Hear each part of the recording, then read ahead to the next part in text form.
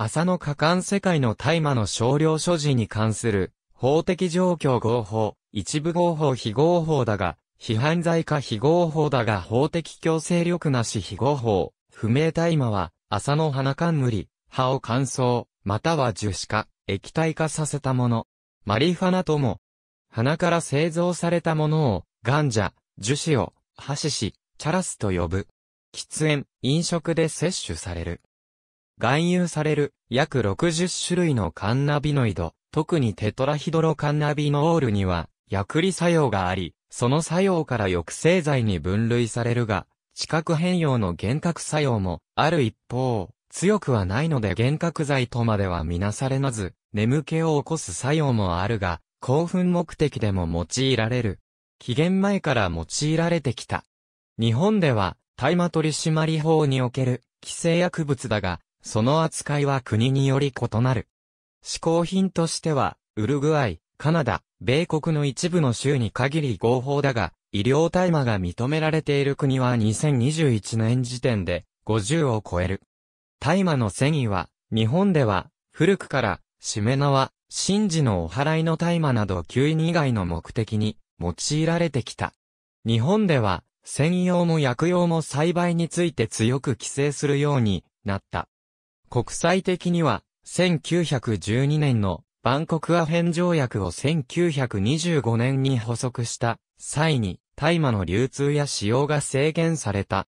1961年、皇族の麻薬に関する単一条約により、医療や学術上の理由のない輸出入、流通、生産、所持が規制されるに至った。しかし規制の格付けが科学的証拠に従っていないとして、2016年より、世界保健機関による証拠の見直しが進められ、一定の危険性と乱用性とともに、医療価値が見出され、大麻関連の規制の降格が勧告された。痛み、転換、癌、エイズ、喘息、緑内障、睡眠障害、食欲増進など、様々な領域における医療利用についての研究があるとしている。2020年には、麻薬委員会がまとめた各国投票を通じて危険性が医療価値を上回るという条約の分類から大麻が削除されることが決定された。大麻の規制のされ方は各国一様ではない。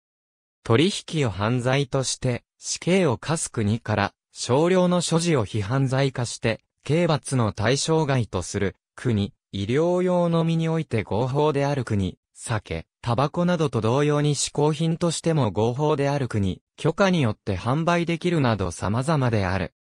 これについて、2019年には、国連の国際麻薬統制委員会は人権への配慮から死刑の廃止を求め、軽微な犯罪には刑罰でなく、治療の可能性を言及するようになった。また同時に、医療研究の推進や人権の観点から薬物を使った人を刑務所に収容するのではなく、治療や福祉的なサービスにつなげることが必要だとして、薬物利用の非犯罪化を求める動きへとシフトしている。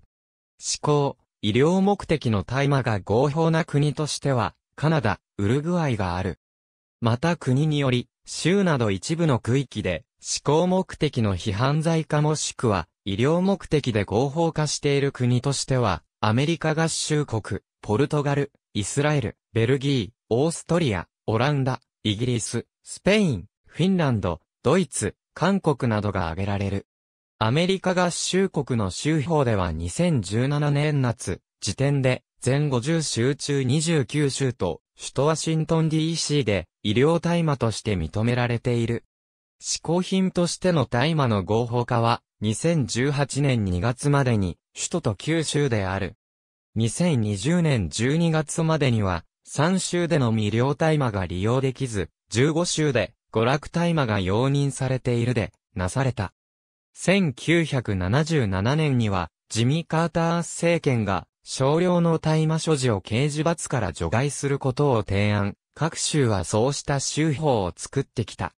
しかし、各州で合法とされていても、連邦法では違法のままであり、大麻使用が解雇理由とされた際、それが医療目的であっても、司法的救済がなかった。2020年12月には、マリファナ機会再投資、犯罪記録抹消法が下院で通過し、これが上院を通過するか注目されている。米国における、非医療大麻の非犯罪化も参照。ニューヨークタイムズは、アルコールよりも、危険の少ない大麻を禁止していることで社会に多大な害悪を及ぼしてきたことを批判し、大麻を禁止している。アメリカ連邦法を撤廃すべきだとする社説を掲載し、議論を呼んだ。2016年のギャラップ世論調査によると、アメリカ人の約60%が大麻の合法化を支持している。合法化支持は1969年には12%に過ぎなく、20世紀の末でも30%ほどで少数派であった。しかし2000年代以降に増加し、2010年を過ぎると、合法化支持が多数派になった。結果として生じた大麻産業も急速に発展した。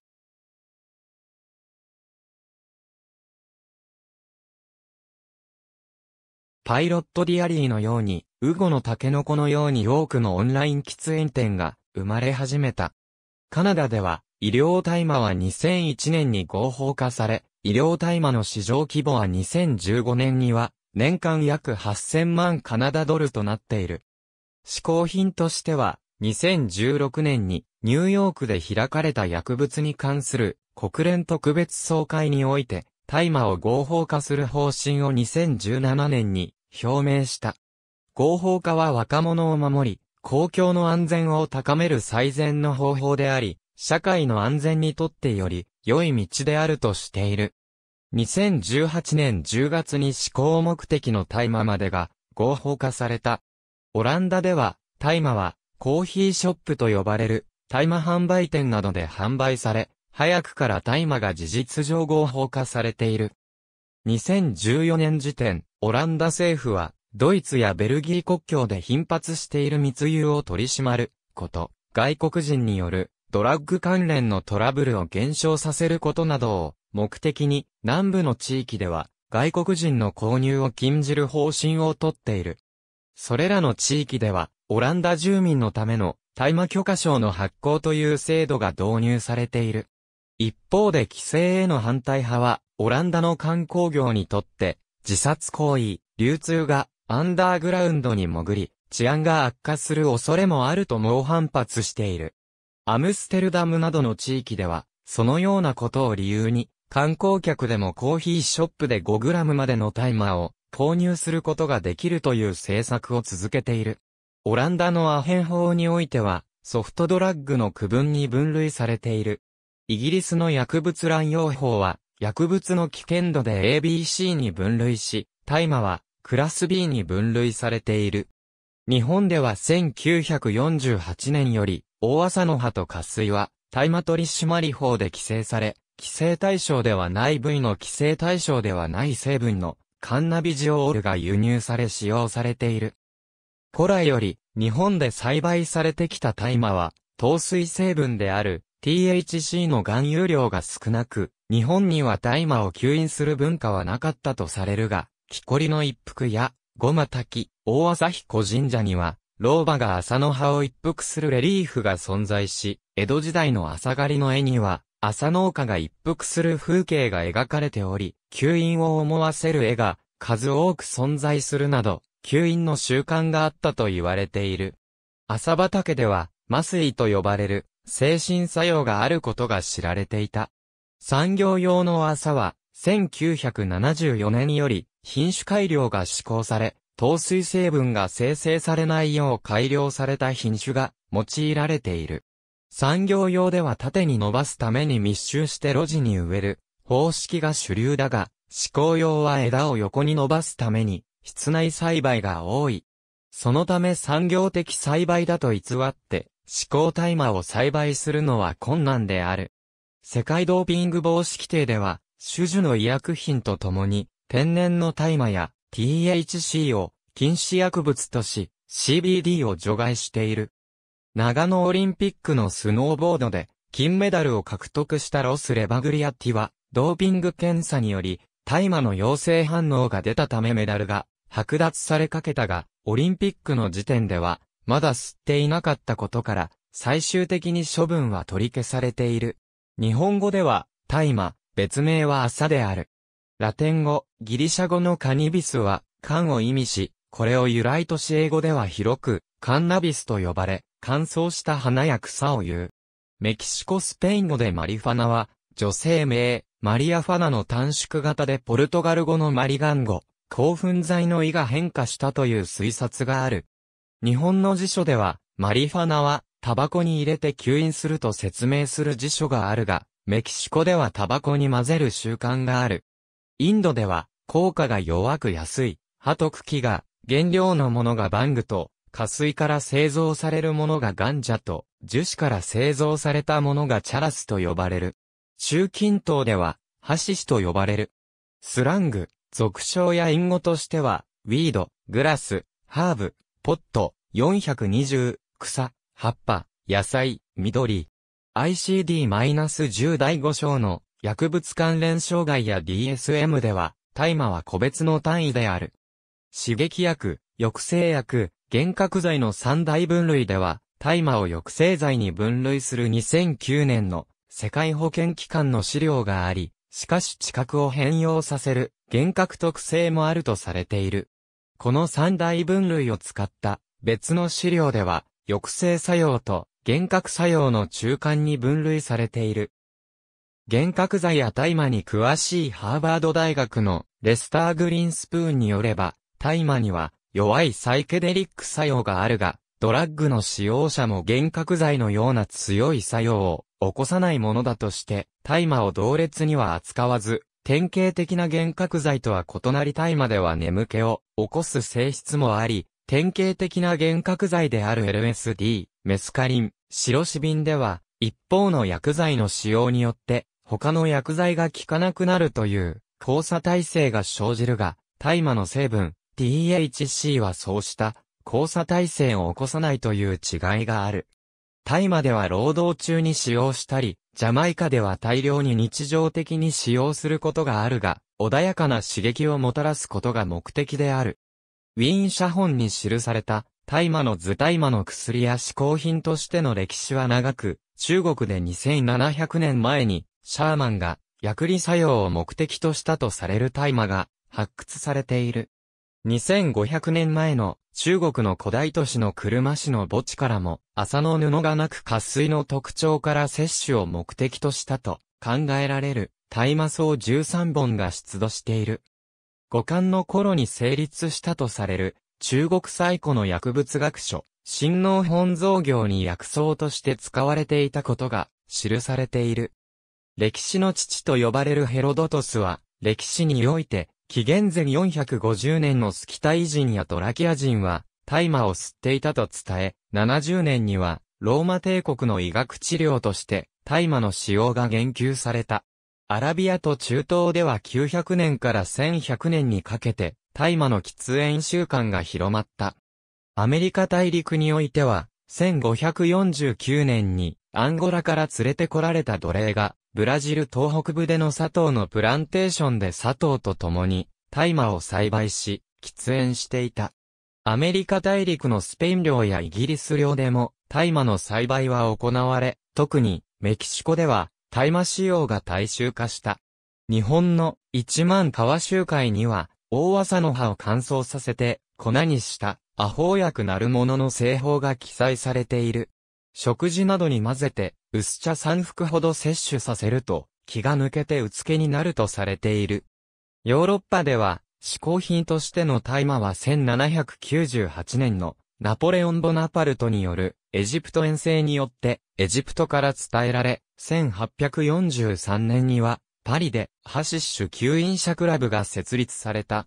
1937年以前に生産されていた大麻鎮規西洋では1840年以降、大麻を医療に用いるための100冊以上の書籍が出版され、脚光を浴びた。1870年にギリシアで大麻使用が全土に普及した。また、イギリスの上流階級や王室の間にも広がり、ビクトリア女王は生理痛の緩和に使っていた。薬用としては、腹痛や発熱、不眠症や結核患者に使われた。江戸時代の博物学者、貝原駅県の大和本草に大麻の効があり、朝場の起こりへの治療薬としての効能、日本で大昔から朝が植えられていた様子が、日本書紀や旧時期に見られることなどが記されている。その他、第二次世界大戦前の生薬学では、大麻の麻酔性が、インド、中国では、紀元前から知られており、思考用途の他に鎮静薬及び催眠薬として、喘息への訓煙剤及び、紙巻きタバコとしての用法があると記載されている。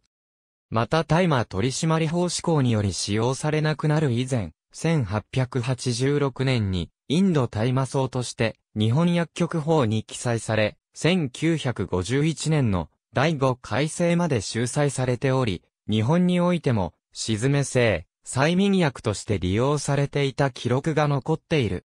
アムステルダムの大麻博物館アメリカ合衆国では、1840年に医薬調合品として大麻の利用が可能になり、1842年から1890年代まで処方される薬の上位にあった。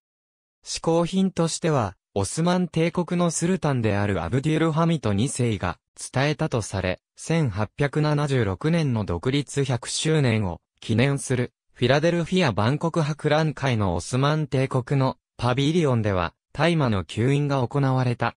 その後、アメリカ北部で大麻を吸引できる店が開店し、上流階級や地位のあるビジネスマンがお忍びで通った。禁酒法時代にはクラブなどの公共の場で酒の代わりとして振る舞われていた。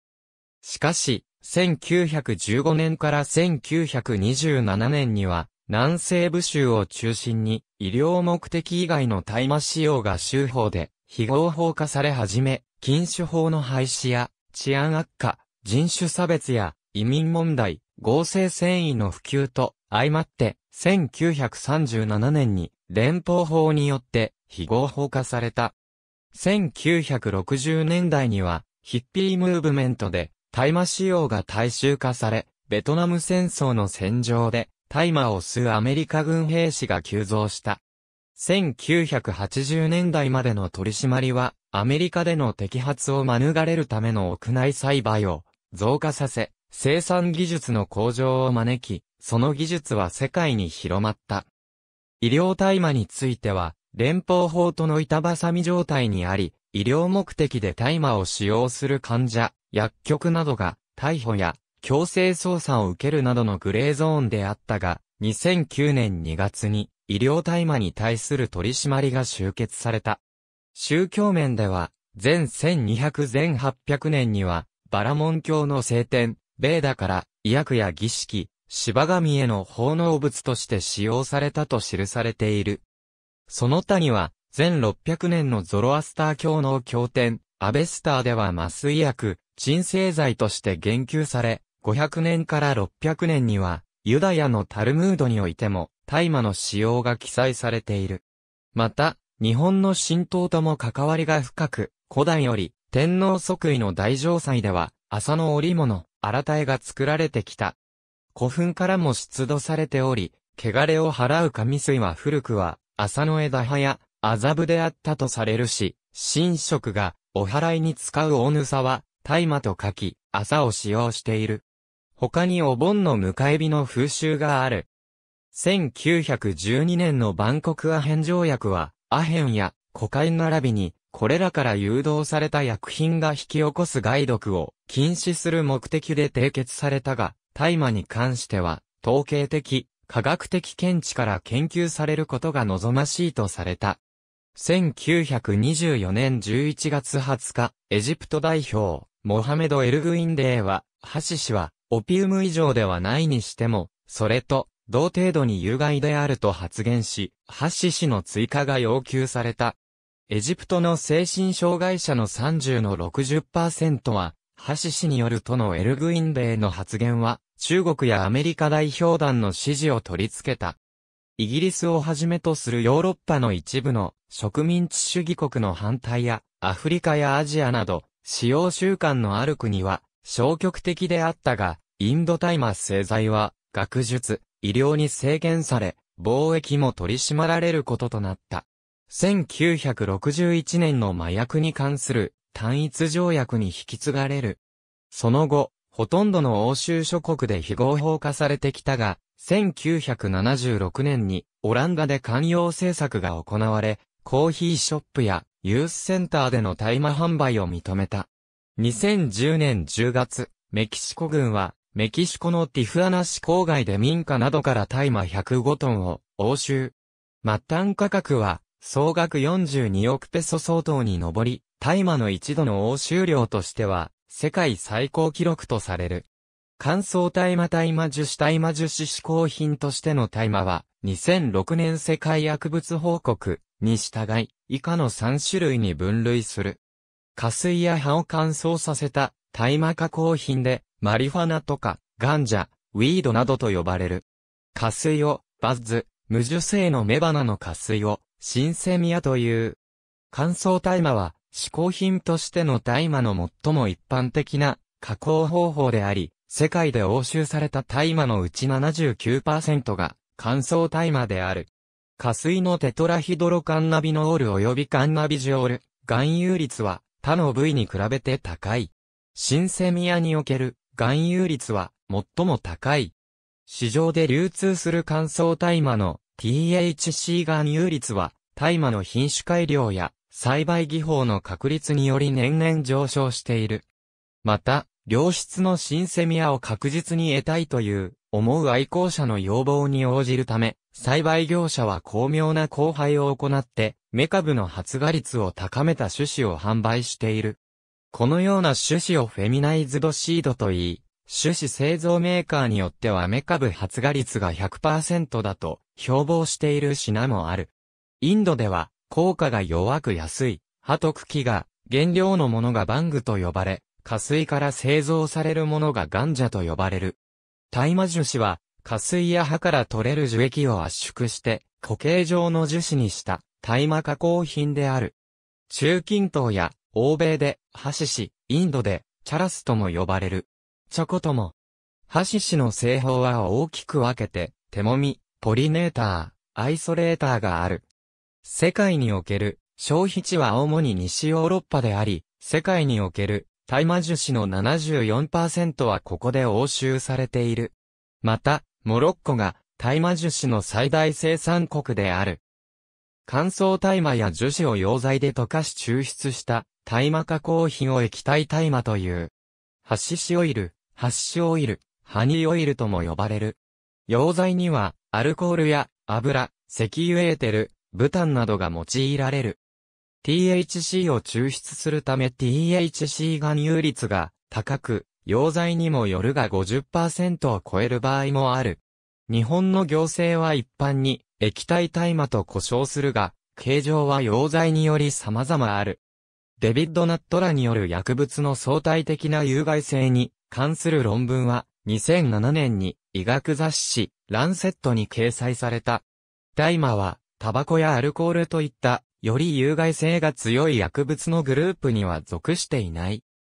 デビッド・ナットラ薬物に関する独立科学評議会による2010年にランセットに掲載された薬物の相対的な有害性に関する論文は社会的な有害性も評価し暴力や事故を引き起こす傾向の強いアルコールを最も有害とした。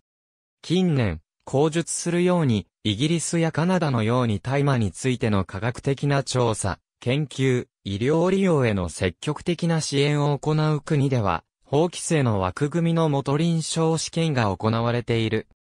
1977年にアメリカ大統領の諮問に対するシェーファー委員会の答申に基づいて出されたカーター教書によってマリファナの使用は精神病の原因になるとは言えないこと個人の少量所持を刑事罰の対象から外すのが望ましいと言明された。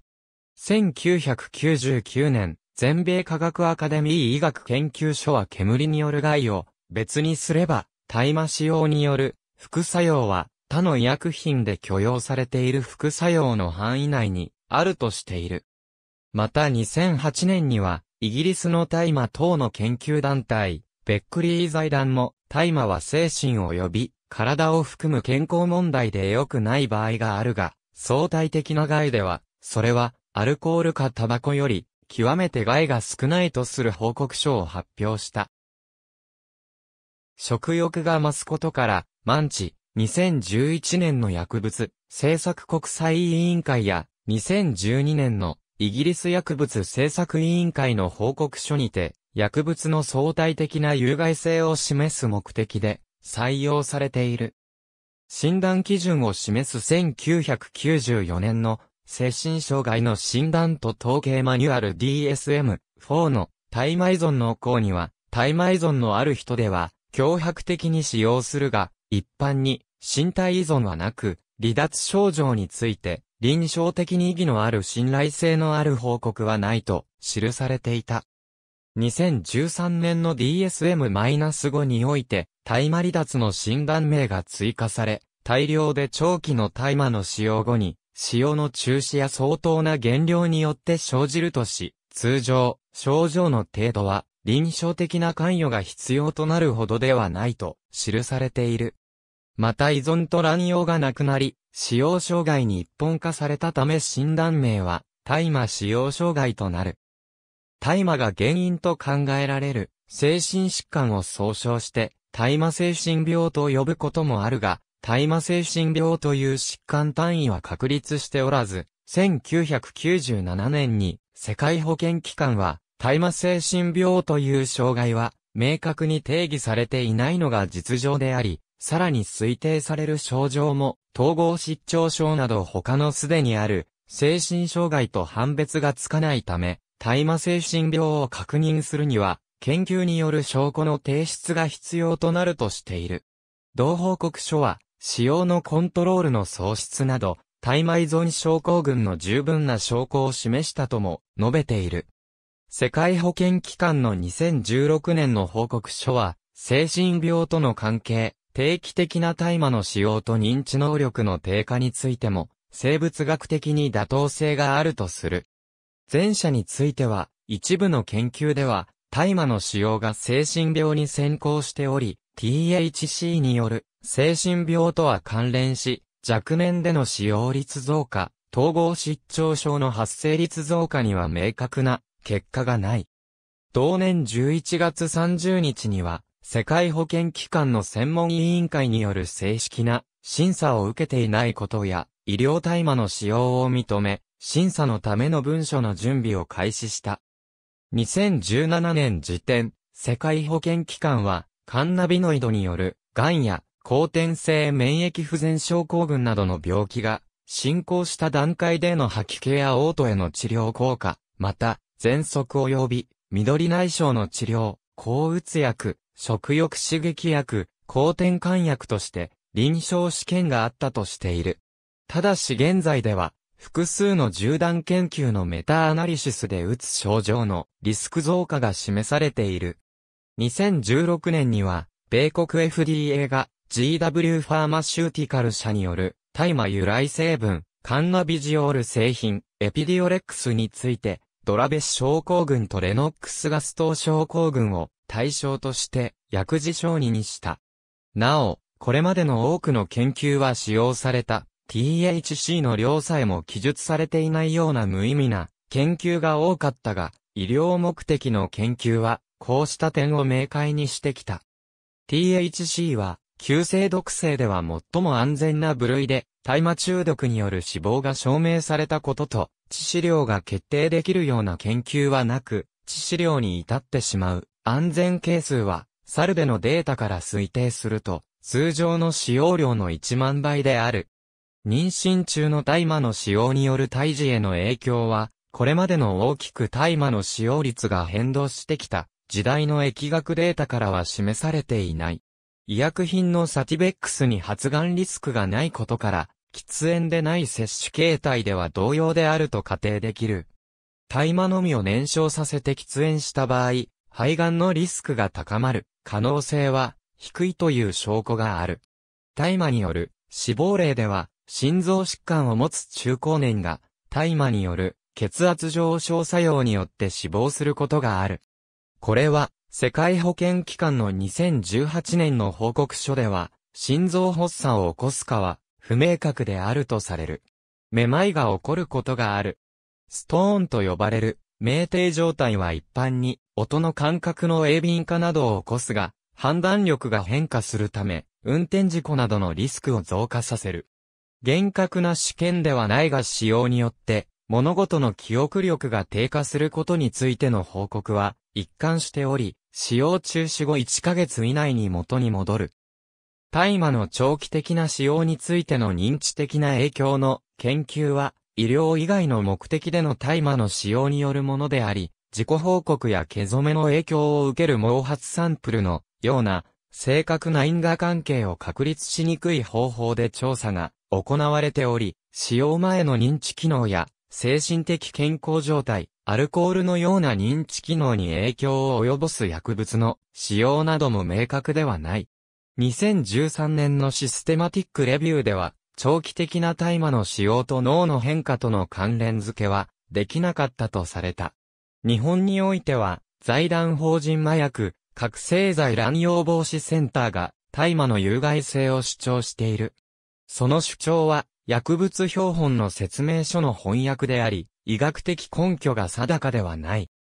イギリス薬物政策委員会による2012年の薬物全般の概括的な報告書では、大麻は特定の健康上の問題があるために自己治療の目的で使用されている可能性があり、また孤立、不平等といった問題が薬物の使用の問題を悪化させていることがあるため、そうした本当の問題が識別されていないことを指摘している。大麻の使用とうつ病などの関連を示す研究があるが、以前からの感情の問題が大麻使用と精神障害の両方の結果につながる可能性もあるため、因果関係を見定めることは困難とされていた。しかし現在では、複数の縦断研究のメタアナリシスでうつ症状のリスク増加が示されている。IQ について、大麻の使用と関連がある、ないという両方のコホート研究があり、これらは自己報告がベースで大麻の効力の強さへの言及もない信頼性に限界のある研究方法である。大麻使用と低学力や学校の中退に関連があるとする複数の症例対象研究や横断研究があるが、大麻が原因で起こるという意見と、学業低下が原因で大麻を使用するという意見とで、議論が続いている。個別の研究であるが、2014年9月10日に、ランセットサイキアトリーで発表された研究によると、17歳未満で大麻を常用している者は、薬物を一切使用したことがない同年代に比べて、高校を卒業したり、大学で学位を取得したりする可能性が、約60%低いとされる。また、日常的な大麻使用者は、後の人生で自殺を試みる可能性が未使用者の7倍となり、また、大麻以外の違法薬物を使用する可能性は常人の8倍高かった。効力の増加現在の大麻は品種改良や栽培技術の向上によって過去に比べて効力が増加しているとする社会的意見がある。イギリス政府はスカンクと呼ばれる THC が30%を超える高効力の大麻が蔓延し、深刻な精神病に陥ると主張しているが、押収されたスカンクの THC の平均含有率は14%であり、20%を超えたのは全体の4%のみで、30%を超えるスカンクはなかった。アメリカの薬物乱用予防教育は、現在の大麻は30年前と比べて効力が20倍に増している。と指摘しているが、2007年のホワイトハウス麻薬撲滅対策室の発表では、大麻の効力は20年で2倍程度増えたとしている。国立薬物乱用研究所の調査でも、連邦麻薬取締局が押収した大麻のうち、THC 濃度が15%を超えていたのは10%以下で、20%以上のものは、サンプル全体の2%であった。2008年、オーストラリアのニューサウスウェールズ大学と国立ドラッグアルコール研究センターの世界中で実施された9つの研究のデータをメタ分析した研究では、社会では効力が過去よりも20から30倍も強力になってメンタルヘルスに悪影響を及ぼしているとする主張されているが、今回の証拠はその主張を支持していないとしている。また、ヨーロッパ麻薬監視センターの報告では、効力の強い大麻が健康被害リスクを増やすことを示す証拠はなく、個人や社会、公共の秩序または犯罪行為など全体において、効力の強い大麻が普通の大麻よりもリスクが大きいということはないとしている。個別の研究であるが、2017年にフランスで発表された論文では、同国内でマリファナ中毒のため緊急治療室に運ばれる子供の数が増加傾向にあることを報告。取りまとめた小児科医は原因を大麻に含まれる THC の濃度変化にあることに言及し、2004年には9%だった THC の濃度が2014年には20%に跳ね上がったことを指摘している。カナダで医療用に発売されている大麻の THC 含有量は10から14%であり、オランダの医療用大麻のベッドラカンは19%である。効力の強い大麻の方が少量の吸引量で望む糖水状態が得られるので、煙の害を抑えることができるという指摘がある。交通事故との関係米国において大麻が合法化された州でも大麻が効いた状態で自動車を運転することは違法である。アメリカでは死者が発生した自動車事故において運転者から検出されることのある薬物の1位がアルコール、2位がマリファナである。大麻の影響下にある運転者の自動車事故リスクについて過去に行われた調査では大麻の影響が大きいほど自動車事故リスクが高まると報告されている。しかしながらそれらの調査においても、大麻のために上昇したとされる事故リスクは、違法運転とならない量のアルコールを摂取した場合のリスクよりも一貫して低い水準にあることが示されている。イエール大医師らの報告によると、大麻が効いてる間の運転で重大事故を引き起こす確率は飲酒運転の10分の1程度であるという。大麻を吸引すると調整能力、指標追跡能力、反応時間といった運転時に必要な能力が低下するが、大麻タバコ3分の1本以下の少量の吸引であれば、運転能力に支障は見られず、かえってシラフのドライバーよりも事故を起こしにくいという研究報告があった。英国運輸省による報告書は平常時とは異なるが、必ずしも事故につながる技能的な障害があるとは言えない。と報告した。アメリカ合衆国運輸省やカナダ政府、違法薬物委員会からも同様の報告があった。また、英国国会貴族院科学技術委員会の報告書では、アルコール使用者は平常時よりも危険な運転をする傾向があることに対し、マリファナ使用者は危険を回避しようと低速で注意深く運転する傾向にあり反応時間や運動能力の低下を相殺するため、直接的に事故の増加にはつながらないとしていた。しかし近年のメタアナリシスでは、大麻と交通事故、とりわけ致死的な事故との関連が示されている。大麻を多量に吸引した場合は、車線に沿って運転できない、黄色信号や、不意の危険に対しての対応速度が鈍る、自分のスピードが正しく認識できないなどといった問題が発生し、事故リスクが高まる。また、アルコールと大麻を併用した場合は、いずれか一方のみを使用した場合よりも、事故のリスクが高くなる。踏み石論日本において、大麻を取り締まる大きな理由の一つに、一旦大麻を使うと、他のドラッグをも使用するようになり、他の薬物への入り口となるという、踏み石理論がある。これは1950年代にアメリカの麻薬取締機関が広めた考えであるが、近年は欧米の政府機関によりこの理論についての再考察が盛んに行われている。下記に示す通り、近年の研究機関はその関係性について否定的である。下記の研究機関が1970年代1990年代に行った研究にも、同様にゲートウェイ理論を裏付けているとするものがあり、同機関による最新の研究家に留意する必要がある。また、いずれの研究結果も、欧米を対象としており、日本を対象としているものではない。否定的な個別の研究肯定的な個別の研究大麻の検査方法は、尿、血液、毛髪、唾液と4つの検査方法がある。主には、尿検査で行われることが多く、大麻成分の検出期間は、使用頻度に比例して、最低で48から72時間、最大で12週間は、検出可能とされている。また、簡易検査と精密検査がある。簡易検査では、扱いが容易で安価な、酵素増倍免疫測定法が用いられ、陽性式位置は50何ミリリットルと高く設けられている。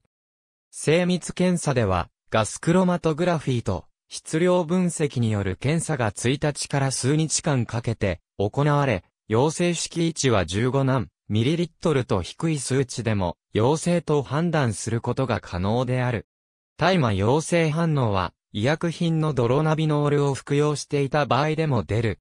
アメリカでは連邦政府が強制的な実施指導方針を職場の薬物検査に設けており、検査の実施場所や担当係員、実施方法などについて詳細に定めている。2010年代に尿の簡易検査薬の大半が誤って陽性反応を示すなどの欠陥が指摘されている。日本では薬物検査の方法に対して法律などによる規定はない。日本国内で栽培される大麻はほとんどが栃木県産で、その用途は主に浅いと麻布であり、他に、日用品、真珠、漁具、小柄として使用されている。栽培されている大麻は、栃木白という THC をほとんど含んでいないとされている改良品種である。栃木県は、栃木白の種子の県外持ち出しを禁止している。朝の特産品として、実の朝、木曽朝、岡地から虫、鹿沼朝、雫石朝、上州から虫などがある。大麻草は現在でも雑草に混じって普通に自生している。自生している大麻草そのものは自然物であるため、法的に違法物というわけではないが、それを葉一枚であっても許可なく採取することは、大麻取締法による違法行為にあたる。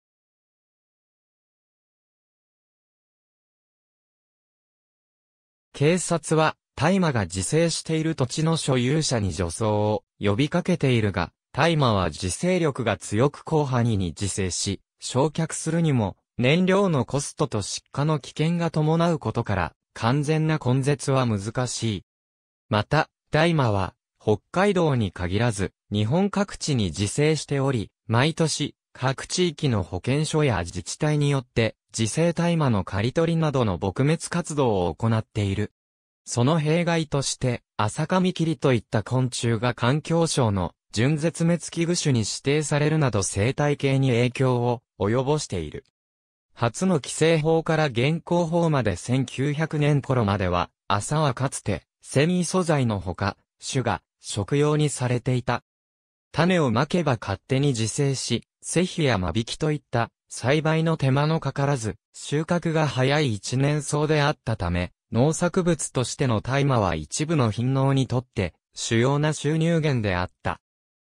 朝繊維素材や商品として需要があった戦前、北海道で大麻は軍需品の一つとして栽培されていた。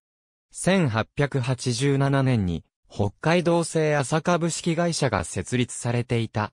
明治時代には喘息の治療品として喘息タバコインド大麻草名で販売されてもいた。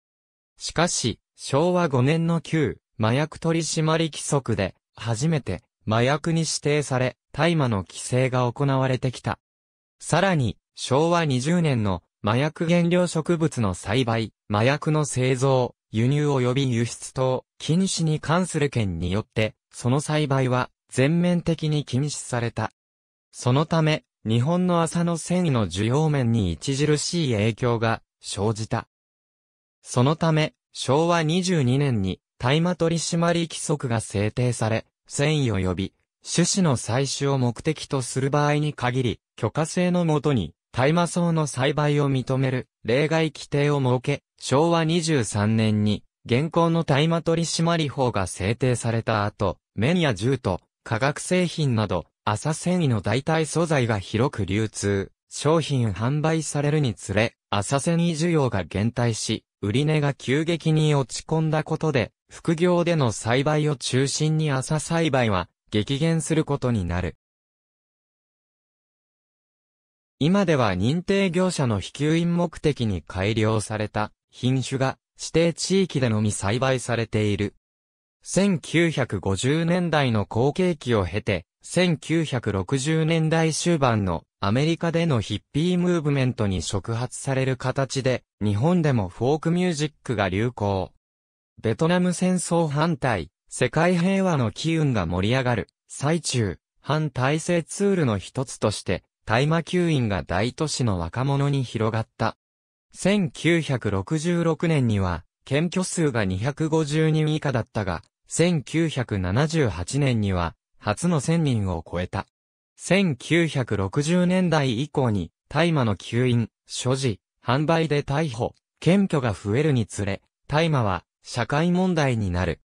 2000年代には大麻取締法違反の検挙者数は増加傾向にあったが、2009年から減少するなど、必ずしも一貫した傾向が見られるわけではない。暴力団絡みの覚醒剤や外国人組織が比較的関与しやすいヘロイン、コカインその他の危険ドラッグと違い、大麻は唯一個人栽培、国内生産が可能な薬物であり、最も身近で手を出しやすい薬物になっている。また、米国やカナダなどからの密輸入もあり、大麻に絡む国際的な違法行為も続いている。国立精神、神経医療研究センターは2018年、大麻の使用経験者数を133万人とする推計をまとめた。1948年に大麻取締法を制定し、1960年代には国連の報告書は日本の大麻犯罪は一般に外国人であり、外国の船員と兵士の逮捕が増加しているとしている。その後、1970年代には芸能人の逮捕も相次ぎ日本人の例も増加した。大学生が大麻を所持して逮捕される例が相次ぎ、2008年には年間で2778人が検挙され、その90.6%が初犯であった。大相撲会においては2008年8月に、ロシア出身の若の方が大麻所持で逮捕され、9月には麻薬の簡易検査で、同じロシア出身の朗報、白露さんの二人と日本人力士の一人から、大麻の偽陽性反応が出た。露報と白露さんは精密検査においても、陽性反応が出たため、解雇処分となった。日本人力士は3回目の簡易検査において、陰性反応が出たため、その検体や検査結果などの資料を破棄。精密検査を受けることはなく、処分はなかった。これらのことを受け、日本相撲協会では、薬物検査により、大麻陽性の力士は解雇処分にする方針をとっている。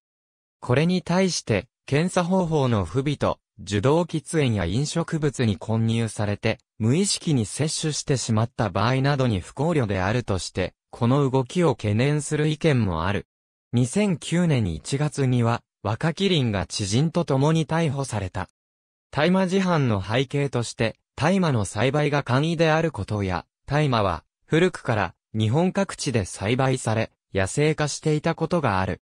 さらに、旧日本軍が第二次世界大戦前より軍需品生産を目的として、長野県や北海道などで生産を推奨したため、第二次世界大戦後の大麻取締法の制定後も、北海道、長野、東北地方などに自生している。そのため行政が駆除しているが、生命力が強く、完全な駆除は無理である。実生大麻の多い北海道では、行政主導のもと撲滅運動を行っている。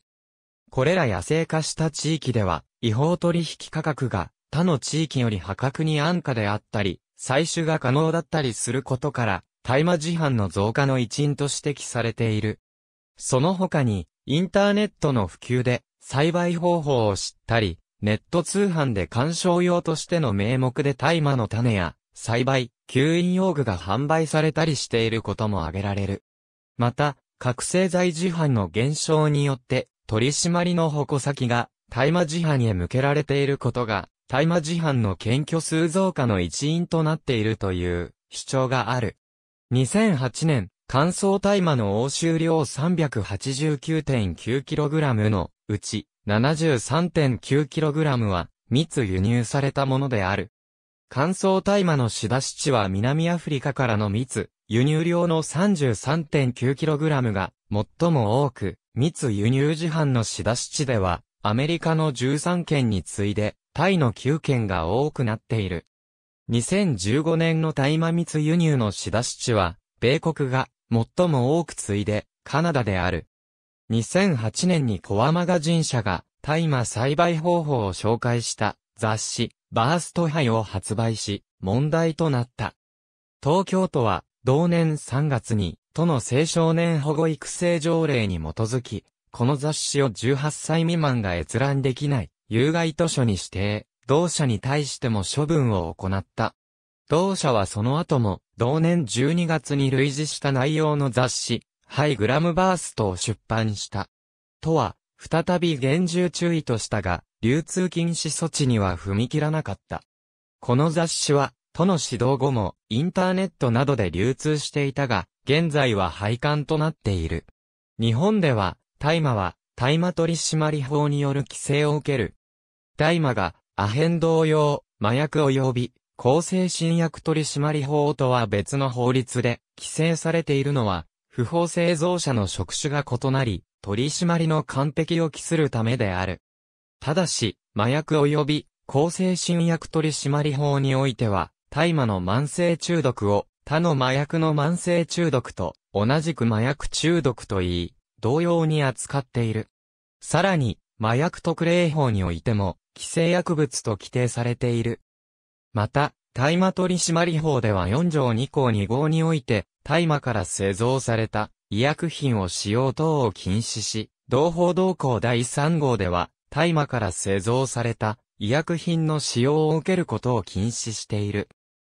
大麻取締法では、医薬品の定義はされていないものの、医薬品、医療機器等の品質、有効性及び安全性の確保等に関する法律2条1項において、医薬品の定義がなされており、同法同項第3号において、人または動物の体の構造または機能に影響を及ぼすことが目的とされているものであって、機械器具等でないものとされていることから、規制薬物である大麻の使用は違法行為となる。しかしながら、2019年3月19日の参議院沖縄及び北方問題に関する特別委員会にて、米国にて承認された医薬品の質疑において、大麻研究者である医師の元大臣の許可を受け、治験対象の医薬品を実施計画に基づく対象の患者に限って使用できるとの答弁があった。続報や詳細は医療大麻日本を参照。麻薬の用語は麻薬及び抗精神薬取締法別表第一に定められた薬物を言う場合と大麻取締法、アヘン法、覚醒剤取締法、麻薬特例法を含めた麻薬語法に定められた薬物を言う場合があるが、大麻は講義の麻薬に含まれる。国語辞典でも麻薬と説明しているものが多い。朝から制した麻薬、朝の別名。また、その葉や樹脂から制する麻薬。規制対象日本の大麻取締法は、大麻を大麻草及びその製品を言う。ただし、大麻草の成熟した茎及びその製品並びに、大麻草の種子及びその製品を除く、と規定している。種の学名、カンナビスサティバエルを用いて定義しているため、亜種ない種変種である、サティバインディカルデラリスすべてが、規制対象となる。アサカアサ属の植物は、カンナビスサティバ L 一種のみであるので、大麻取締法一条に言う、大麻草とは、カンナビス属に属する植物すべてを含むとされる。ただし、これは、朝属における一族一種説に基づいた、分類法によるものであり、植物分類学では一族多種説も存在する。一族多種説では、朝カーサ属に含まれる種は、カンナビスサティバ、L の他に、カンナビスインディカラム、カンナビスルデラリスジャニがあり、これらを、カンナビスサティバ、L の亜種や変種とするのではなく、それぞれ別の種とするものである。大麻種子は調味料や鳥の餌などで普及しており、規制が難しく取り締まりの対象とされていない。関税法では発芽防止の熱処理されていない大麻種子は輸入規制されている。また、大麻の吸引や使用自体は法律違反ではない。これは揮発した大麻成分を自然摂取してしまう朝農家や同胞、制定までは朝が燃やされていた、ごま炊き、お盆の迎え火や野焼きなどによる受動喫煙、飲食物に混入されてしまった場合などを考慮したものであるとされる。免許制大麻取締法により、大麻の所持、栽培、輸出入は免許制となっている。すなわち、繊維もしくは種子を採取する目的で、大麻草を栽培しようとする場合は、都道府県知事の大麻栽培者免許が必要であり、研究目的で大麻草を栽培し、または大麻を使用しようとする場合は、大麻研究者免許もしくは薬剤師免許が必要である。また、免許を受けた大麻研究者が大麻を輸出または輸入しようとするときは、厚生労働大臣の許可が必要である。日本では、大麻栽培に免許制度を採用しており、産業的栽培は法的に可能である。しかし、厚生労働省は新規の免許交付については、単に農作物として出荷する目的での栽培を認めるわけではなく、その栽培目的が伝統文化の継承や一般に使用されている生活必需品として生活に密着した必要不可欠な場合に限るとしており、事実上、ほとんど認めない方針をとっている。なお、鳥取県では2016年に薬物乱用防止条例を改正し、要件を満たしても免許交付をしないこととしている。また、栽培中にその成分を自然吸引することになるため、使用の有無に関わらず、体から大麻反応が出ても、免許保持者は罰せられることはない。罰則無免許ないし無許可で栽培または輸出入をした場合は、7年以下の懲役が課せられる。営利目的の場合は10年以下の懲役である。大麻の不法所持、譲渡、譲り受け、大麻から製造された医薬品の使用は5年以下の懲役である。営利目的の場合は7年以下の懲役である。大麻の栽培または輸出入については予備罪も処罰され、栽培、輸出入、所持、譲渡、譲り受けともに未遂も処罰される。さらに犯人が所有しまたは所持する大麻は没収される。ほか、大麻の運搬に使用された、艦船、航空機または車両は没収することができるとされる。海外での行為について、元検事で弁護士の中村務によれば、大麻の使用については、日本法でも禁止されていないが、所持については、立証が困難なケースも多いだろうが、刑法第2条によって、日本法が適用され違法であるとする。一方で、江南大学法科大学院教授の園田久志によれば、刑法第2条は、相手国と協力して取り締まるという意味で設けられているので、合法化されたカナダでは、このような共通目的は成立せず、大麻取締法の24条8の、みだりに所持したということについても、相手国で合法化されていれば、みだりに所持していないためこれも成立しないとされる。そう解釈しないと、カナダ国内で大麻を所持していたことがある。カナダ人が日本を訪れた際に、カナダ国内での行為について、日本法によって処罰されてしまうと指摘している。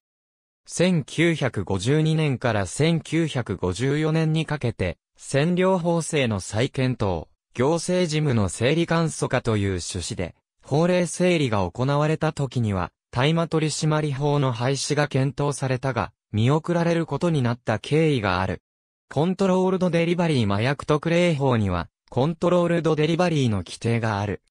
大麻の輸出入をしようとした場合、税関で判明しても即座に、検挙せずに一旦通関させ、配送先、配送元の情報を入手したり、組織的な薬物取引を一斉検挙したりすることが行われている。多くの国に大麻を規制する法律があるが、これは国際法である国際連合の薬物に関する3つの国際条約に批准することに通じている。3つの条約とは、麻薬に関する単一条約、1971年、抗生新薬に関する条約、麻薬及び抗生新薬の不正取引の防止に関する国際連合条約であるが、最初に挙げた単一条約が特に大麻に関係する。特に21世紀となり条約批准国の中には、国内法あるいは地域自治法において医療に限って許可したり、娯楽目的では量を規定して単に罰金とする、批判罪化が進められてきた。単一条約から50年が経った2011年、薬物政策国際委員会は、禁止による対策は失敗し薬物による問題を助長しており、麻薬犯罪組織を弱体化させる実験的手法として政府による合法規制を特に大麻に対して実施してはどうかとの提言を行った。2016年には大麻が正式に科学的に審査されたことがないことから国際連合と世界保健機関は科学的審査を進めており、2019年には規制見直しのための国連を通した投票が行われる運びとなった。2018年10月10日、世界保健機関のテドロス・アダノム事務局長は、思考用大麻について、常習性の薬物は何であれ、人の健康に良くないと考えているとし、府が実際に合法化に踏み切ろうとしている国家に、続くよう各国に奨励することはないと明言している。国際麻薬統制委員会も合法化したウルグアイとで輸出入などを犯罪化するよう協議を重ねてきている。一方で2019年6月には国際麻薬統制委員会は声明を発表し、個人的な使用による薬物の少量の所持のような違反には条約は刑罰を義務付けていないので治療などの代替策があるとした。これらの国際機関は合法化には懸念を示しているが、人権に配慮した批判罪化を提唱するようになった。2020年12月には、国連の麻薬統制委員会は、条約において、大麻を最も危険なグループに分類していたものを削除することを決定し、医療利用の道を開いた。アメリカ合衆国アメリカ合衆国の各州における大麻の法的扱い大麻は合法医療大麻は合法医療大麻は合法いかなる使用も禁止。D 思考目的使用の批判罪化大麻は、連邦の規制物質法で、スケジュール I に分類される。処方箋に書くことができず、麻薬取締局による製造割り当てにより製造が制約されると定められ、麻薬取締局によって厳格に取り締まりを受ける。その一方で、一部の州においては、州法にて1970年代より、少量所持の批判罪化、1996年より、医療大麻の承認、2012年より施行用の大麻も批判罪化しているケースがあるものの、大麻の栽培や流通などの事業に対しては、口座凍結などの金融規制も実施されている。1973年には、オレゴン州では、大麻所持から刑事罰を取り除くため州法を改正し、1オンス以下の所持は罰金刑となり、犯罪歴がつかないようになった。1977年にアメリカ大統領の諮問に対するシェーファー委員会の答申に基づいて出されたカーター教書によってマリファナの使用は精神病の原因になるとは言えないこと、個人の少量所持を刑事罰の対象から外すのが望ましいと言明された。その後、個人の少量所持に対しては州によっては、こうした批判罪化が進んだ。一部の州の自治法で、自己使用目的の少量の所持が、罰金刑などに指定される。もちろん、これらの州でも、1オンスを超える量の所持、大麻樹の所持、大麻の栽培、大麻の販売、輸送、配布、所持量に関わらず、販売目的での所持などは重罪であり、懲役刑が課される。2012年11月6日、ワシントン州にて、大統領選挙に合わせて、住民投票が行われ、同年12月6日、米国で初めて施行用マリファナの指摘使用が合法化された。新法では、21歳以上に最高1オンスのマリファナ所持が認められている。合法的に販売されるマリファナには25%の税金が州より課せられる。コロラド州でも同様に11月6日に住民投票が行われ、施行品としての大麻合法化が可決された。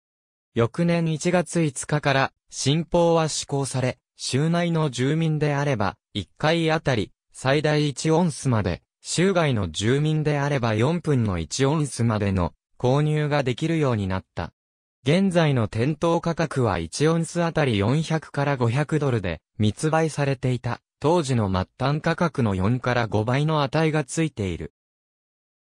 アラスカ州では2014年11月の住民投票での合法化可決により、2015年2月に施行用大麻の合法化が実施された。首都ワシントン DC でも2015年2月に同様に娯楽用の大麻が合法化された。オレゴン州でも2014年11月の住民投票を経て、2015年7月に、施行用大麻の合法化が実現した。2016年11月8日の大統領選挙に合わせて行われた住民投票で新たにカリフォルニア州、マサチューセッツ州、ネバダ州、メイン州が施行品としての大麻の合法化を可決した。カリフォルニア州では21歳以上がプライベートな場所で楽しむためのマリファナの所持、使用、自家栽培が一定の条件付きで認められることになった。また同日、新たに、フロリダ州、アーカンソー州、モンタナ州、ノースダコタ州で、医療用大麻の合法化が決まった。2017年、太平洋上の米領グアムは合法化法案を提出。2018年1月、バーモント州が施行大麻を合法とした。2013年9月8日、アメリカは、マリファナを習慣的に使用している12歳以上のアメリカ人は、全体の12.7%になるとの調査結果を発表した。エリック・ハンプトン・ホルダー司法長官は、児童をマリファナから遠ざける州法の整備を条件に、マリファナを合法化する州で吸引した場合、連邦法の罰則の対象にしないとの方針を表明した。ただし、連邦法上は、大麻が違法である現状においては、医療用、または施行用大麻が合法化された州で、大麻使用を理由に解雇されても、司法的救済がない。2011年、ワシントン州最高裁は、連邦法の下では、ワシントン州の患者であっても合法的に大麻を使用する権利を持っているわけではないとし、2015年、コロラド州の最高裁判所は、被雇用者は州法によって医療用マリファナの使用は認められている。しかし、連邦法の下では違法であり、州法は被雇用者を擁護しないとして、いずれも雇用主は医療用マリファナ使用の被雇用者を解雇できると判決した。2008年カリフォルニア州最高裁、2010年オレゴン州最高裁も同様の判決をしている。カナダカナダにおける大麻では、2001年にカナダ保健省は、処方箋に基づく医療用大麻を合法とし、医療費控除の適用範囲内とした。また、2007年に、1923年に施行された大麻禁止法について、オンタリオ州オシャワの第一審裁判所は、違憲判決を下した。2015年の総選挙では、施行用大麻の合法化を公約に掲げたカナダ自由党が勝利し、党首のジャスティン・トルドーが首相に就任した。これにより、大麻の合法化法案は2017年4月に、審議入りし2018年6月に、可決、2018年10月17日より施行された。施行用大麻を合法化した国家は、ウルグアイに次いで2例目、先進国ではカナダが初となった。施行用大麻の解禁により、カナダ国外からの観光客の流入と需要増を見越したグリーンラッシュと呼ばれる投資が生じている。カナダには著名な大麻合法化活動家であるマーク・エメリーなどがおり、ジャスティン・トルドー首相も国会議員時代を含めて5から6回大麻を使ったと公言している。これら一連の動きを受けて、日本政府は大麻に手を出さないように十分注意するよう在留邦人や日本人旅行客に対する注意喚起を行っている。EU-EU の法的状況合法、一部合法、非合法だが非犯罪か非合法だが、法的強制力なし非合法不明欧州連合でも、法文上は、日本の大麻取締法と、同程度の厳しい罰則が定められている国もある。しかし、実際の運用が、日本ほど、厳格になされている例は稀である。2008年度の欧州薬物、薬物依存監視センターの調査によれば、欧州成人における大麻の生涯使用者は7100万人で、欧州人口の22%に上っている。過去1年以内の使用者は2300万人。過去1月以内の使用者は1200万人。欧州では、性利用を目的とし品種改良した朝を伝統的な呼び名であるヘンプとし、ドラッグとしてのイメージが強いマリファナ、カナビス特別している。セミ利用を許可するために、糖水成分0.2%以下の朝の栽培を許可制ないし、届け出制としている国がある。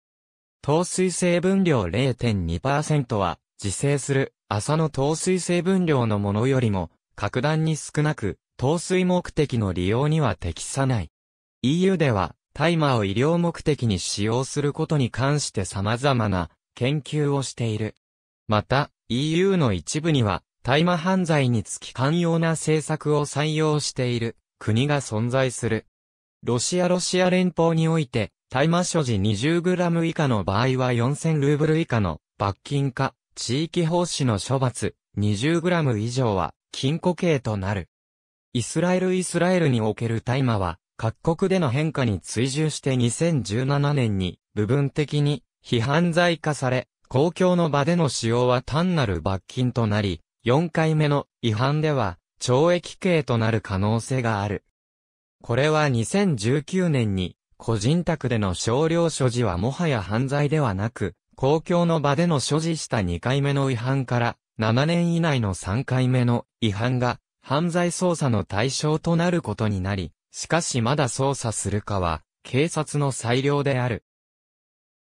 医療大麻も用いられている。ウルグアイ2013年12月10日、政府の監視の下で、マリファナの生産、流通、販売を認める、世界初の国家となった。国際麻薬統制委員会は、ウルグアイの決定は、国際法違反と警告した。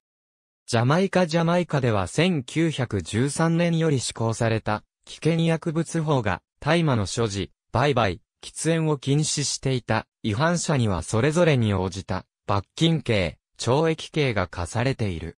2015年改正危険薬物法が2オンス以下のガンジャの所持を罰金刑へと批判罪化し、これには医療大麻やラスタファリ信仰のための宗教的な目的での使用が含まれる。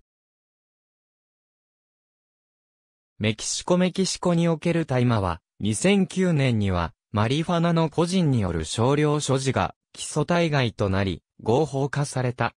2018年10月31日の最高裁の判決で、思考目的の大麻の使用の禁止が、大麻によって気晴らしするかどうかを決定できるという、基本的人権に反するとし、薬物政策へと反映されるかのような発言が続いた。2021年にメキシコ最高裁は娯楽目的の大麻の合法化案を指示した。2021年には大麻合法化案を下院で通過し、再び上院での審議待ちとなっているが、法案は18歳以上の者が、娯楽目的で、大麻 28g、苗6本までの栽培を認めるという内容で、生産から流通までを、国の管理下に置き麻薬カルテルの資金源となることを、阻止する目的。ブラジルブラジルでは、大麻の少量の個人使用目的での取得、所持、保管、輸送、傾向で逮捕の対象とされない。が、社会奉仕命令や薬物講習への参加などの代替刑が課され、それに従わない場合は、罰金刑が課される。アルゼンチン、チリアルゼンチンとチリでは、いずれも刑法によって医療用以外の目的での所持、消費、生産、生成、販売が違法とされ、取り締まりの対象となっていたが、2009年8月25日に、アルゼンチン最高裁は、マリファナ使用で成人を罰するのは、その人物が他人を傷つけたのでない限り、違憲だと指摘し、個人的使用や所持は事実上合法化された。チリでは、使用は違法ではないが売買を禁じている。コロンビア2015年12月、コロンビアのフアン・マヌエル・サントス大統領は、医療大麻の合法化と規制を定めた大統領令に署名した。オーストラリア西オーストラリア州をはじめとした一部地域では、少量所持や栽培が非犯罪化されている。太陽国従来の太陽国では、麻薬の製造、販売に関わった場合は、死刑、単純所持でも、懲役刑が言い渡される可能性があり、麻薬組織に対しては、証拠不十分でも法的手続きを経ず、超法規的殺害が行われる場合があった。2003年のタクシン首相政権時には3ヶ月で麻薬事犯とみられる2500名が殺害されているが、タクシン失脚後の調査では、そのうち1400名が麻薬事犯とは無関係であるとされている。死者の増大は続き、2017年までには死刑は執行されないよう政策転換し、依存者の治療を始めている。2019年には、医療用大麻を解禁。大麻とヘンプを別に扱い、大麻草は政府監督下でのみ栽培できる。ヘンプについては2021年1月、許可制で、個人、企業に、栽培や製品化を認める規制緩和を実施した。麻薬成分を含まない、大麻風の香りをつけた、茶飲料も発売された。シンガポールシンガポールでは大麻を含む禁制薬物の所持に対しては厳罰をもって望んでおり、死刑の判例がある。インドネシア、マレーシアなどの東南アジア島諸部インドネシア、マレーシア両国では、薬物は厳禁であり、厳罰政策をとっている。インドインドにおける大麻文化では、宗教的にも期限前から大麻が用いられ、認可された販売所で入手することができる。南アフリカ南アフリカにおける大麻について、2018年に南アフリカの憲法裁判所は、公の場では違法のままであるが、成人による私的な場での大麻の使用は、犯罪ではないとし、この判断を反映した法案を策定するよう議会に命じた。大麻には、背が高く、葉っぱが細いサティバッシュ、ヘーズなどと、背が低く、葉っぱが太いインディカ種カンナビスインディカ、及び、両者を掛け合わせた品種がある。サティバ種は、頭に効くヘッドハイで、エネルジェティックに、活動的に、頭をアッパーに創造的にする。インディカ種は体に効くボディハイで、鎮静的に、リラックスさせたりカウチの上で、石のように固まる。ボディストーンさせる効果があると言われている。日中や作業に従事するときはサティバ、夜や寝る前や、不眠症や痛みなどの治療には、インディカという風に使い分けする場合もある。純粋なサティバは、収量が少なく収穫までに時間もかかるため、市場ではあまり出回っていない。インドでは、サドと呼ばれる苦行者たちが大麻を神聖なものとして吸っている。インドには公営のマリファナ販売所もある。ジャマイカのラスタファリズムでも大麻は神聖なものとされ、ラスタマンたちが大麻を吸っている。